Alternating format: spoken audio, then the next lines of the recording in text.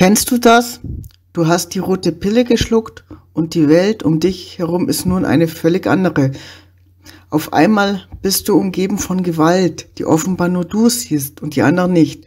Überall verstümmelte Individuum, Leichenteile und Ausscheidungen, wie Milch und Eier, die die Geschichte von unzähligen Leid erzählen. Du schaust dir die Bilder und Videos immer und immer wieder an und kannst es nicht fassen, dass du diese Wahrheit nicht schon viel früher erkannt hast. Und so sehr du dich jetzt auch bemühst, deine neu gewonnenen Erkenntnisse und Informationen zu teilen, niemand scheint dir zuhören zu wollen, nicht einmal die Menschen, die dich angeblich so sehr lieben und respektieren. Veganismus ist für dich nun jetzt logisch und für andere nicht. Du versuchst zwar die anderen auf deine Seite zu ziehen, aber fast alle halten dich für verrückt oder beschimpfen dich sogar. Und auf einmal leidest du an Phystophie. Phystophie ist der Weltschmerz der Veganer.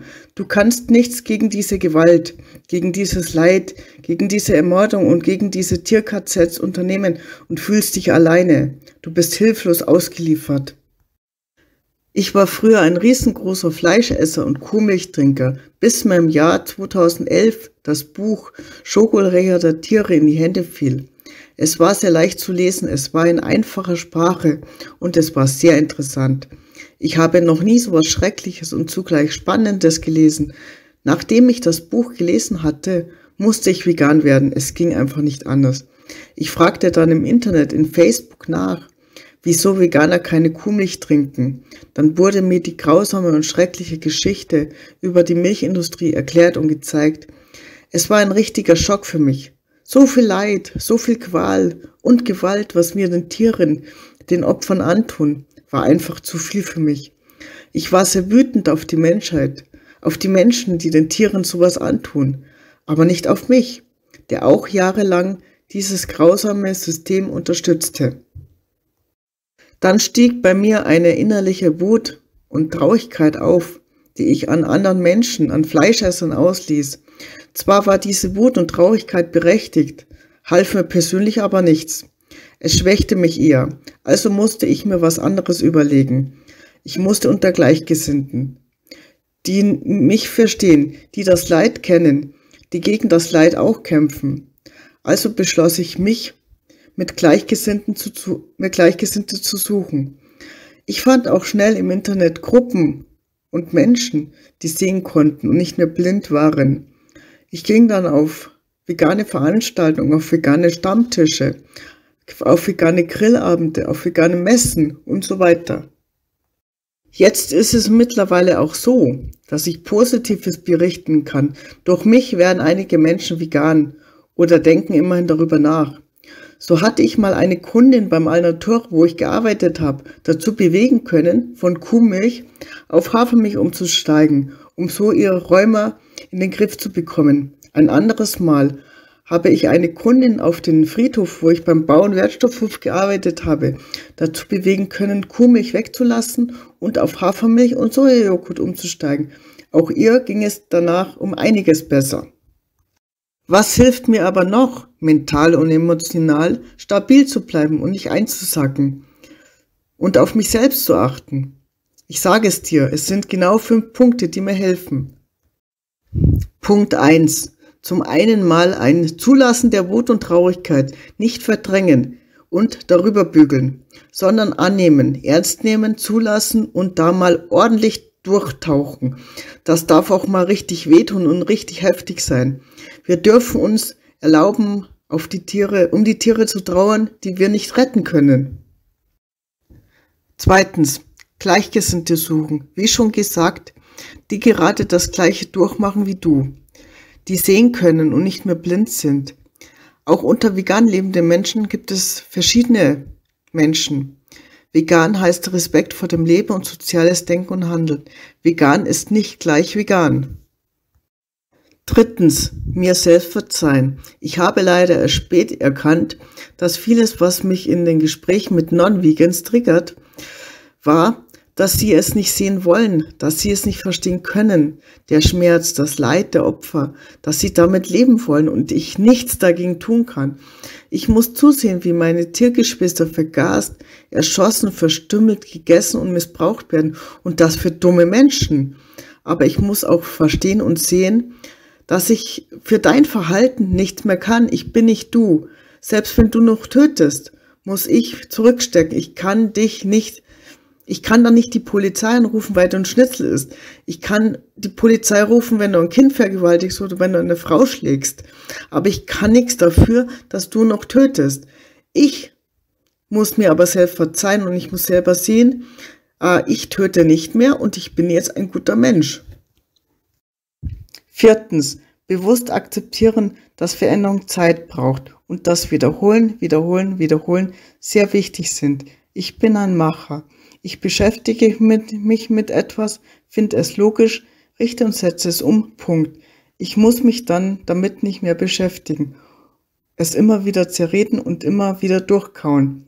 Und das ist eigentlich das, was wir Aktivisten immer und immer wieder tun müssen.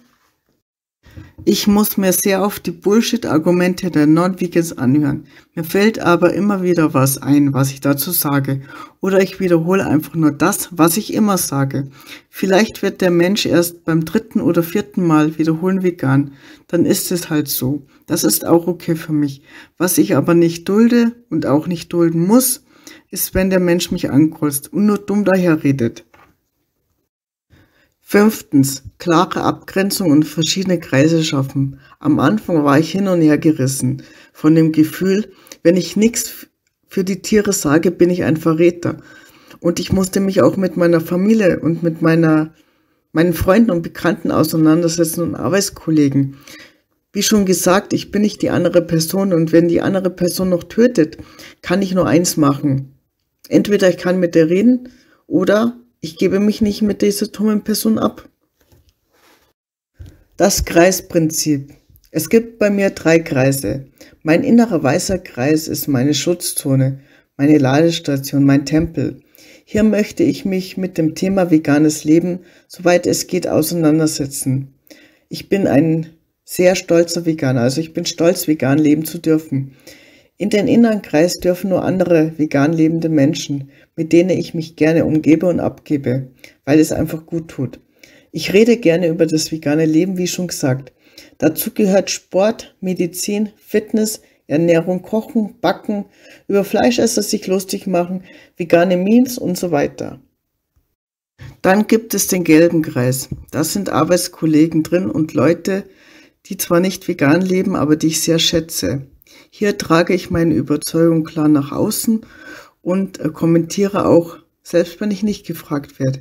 Gemeinsame Essen, die nicht pflanzlich sind, also die mit Tierleichen, Muttermilch und Hennenperioden sind, meide ich, wo es nur geht. Meine persönlichen Grenzen von dem, was vermeidbar ist, liegt mittlerweile sehr hoch. Meine Zeit ist mir einfach viel zu kostbar und wertvoll, als, als dass ich sie mit Menschen verbringen möchte, die entgegen meiner Überzeugung leben und die Leid unterstützen.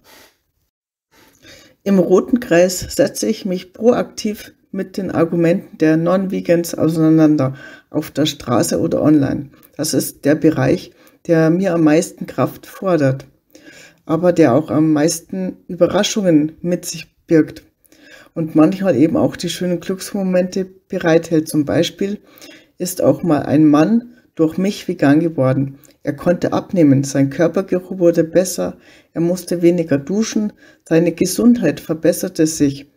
Sowas ist sehr schön mit ansehen zu dürfen.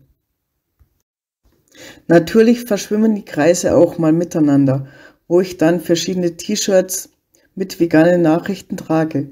Ich trage eigentlich jeden Tag vegane Kleidung, vegane Hoodies oder vegane Kappen. Überall steht vegan drauf. Die Botschaft muss in die Welt gebracht werden und ich sehe mich als derjenige, der diese Botschaft gerne in die Welt trägt. Und damit komme ich auch schon zum letzten Punkt, der mir hilft, mental und emotional im Gleichgewicht zu bleiben. Und das heißt Dankbarkeit. Mich selber feiern für das, was ich und wir alle anderen schon geschafft haben. Und gütig zu mir selbst sein. Auch wenn ein Gespräch mit Non-Vegans mal nicht so gut gelaufen ist und er nicht vegan werden will, wie ich es, wie ich es gerne hätte. Wir sollten uns einfach öfter mal selbst mit dem gleichen Mitgefühl begegnen, was wir den Tieren entgegenbringen wollen und dankbar für jeden veganen einzigen Schritt sein. Natürlich ist es gut, wenn du von heute auf morgen, von einer Sekunde auf die andere Sekunde gleich sagst, du bist vegan und du tötest nicht mehr. Aber du solltest halt trotzdem Schritte machen und zwar nicht nur Schritte, wo, wo Tiere und die Umwelt noch missbraucht um geschändet wird, sondern, sondern Schritte, wie, wie du lernst, selber vegan zu werden. Und da biete ich ja den kostenlosen veganen Helfer an. Wir sollten nach vorne schauen und uns bewusst machen, dass unsere Bemühungen tatsächlich einen Unterschied machen. Naja, und dann gehört für mich natürlich auch folgende Punkte dazu, wie gesunde Ernährung, ausreichend Schlaf, regelmäßig Sport und körperliche Betätigung etc. Denn unser Körper ist unser Gefäß, durch das wir Veränderungen herbeirufen und wenn unser Körper genährt und mit Energie versorgt wird, sind wir besser für diese ganzen Herausforderungen gerüstet. Damit bin ich nun am Ende meines Vortrags und ich hoffe, wir sehen uns bald beim gemeinsamen Aktivismus für die Tiere. Denkt immer dran, wir sind ihre Stimme, denn sie werden nicht gehört. Und wir sind es ihnen, ihnen und uns selbst schuldig, belastbar zu sein, damit wir gemeinsam für eine bessere Welt kämpfen können in der alle Lebewesen mit Respekt, Würde und Achtung behandelt werden, egal wie lange es dauert. Aber ich bin der Überzeugung, dass wir das noch erleben werden, bis jeder Käfig leer ist. Dankeschön.